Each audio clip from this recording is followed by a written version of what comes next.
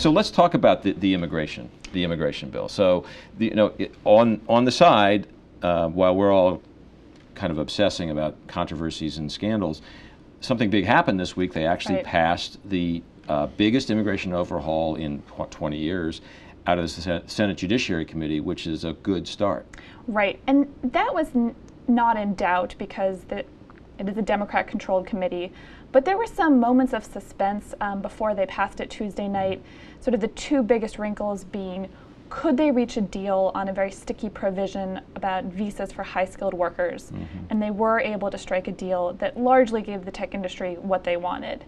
And then the second big moment of suspense was whether the chairman of the committee, Patrick Leahy, would ask for a vote on an amendment um, that would give same sex couples, when one partner is a U.S. citizen and one partner is foreign, the ability to, to sponsor that foreign partner for a green card. And it was a very emotional moment in the committee. Um, Leahy talked about how he's been married to his wife for more than 50 years, and he couldn't imagine what it would be like if he had to choose between her and living in the United States. Um, but he did face pressure from both Republicans and Democrats who were very uncomfortable pressuring him not to add that to the bill because there had been um, bold statements from many Republicans that that would sink the bill. And so he very reluctantly, he said with a heavy heart, didn't ask for a vote. Um, and that was just a moment of Didn't real ask for a vote, meaning it's not going to. It's not attached to the bill that was passed out of committee, and it faces a much higher hurdle on the Senate floor where it would need 60 votes, and there, there It probably would be have been a killer, right? Yeah. It probably would have been a killer. Yes. Several of the people who drafted the bill, the Republicans, said that they flat out would not support the bill if that were on it. So, so what conclusions can we draw from that? I remember when this first popped up a couple of weeks ago, there was a, a question here about whether Democrats would include it simply because they have to for their own party purposes.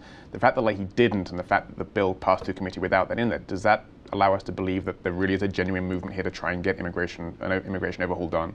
Definitely. I mean, that was the reason that all the Democrats cited. They said this is actually a bill we could get done. This is the best opportunity we've had to do immigration in years. Mm. We are going to do everything we can, and here we are sacrificing something that's really important to us to get this through. So an outbreak of pragmatism, Yes. basically.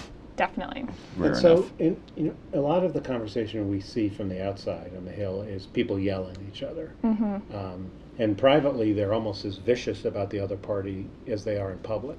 But this seems to be, correct me if I'm wrong, different. That there seems to be a genuine attempt of people who have different views from different parties to kind of make something work. Yes, it was a real bipartisan moment. They marked up the bill, they considered it over five days.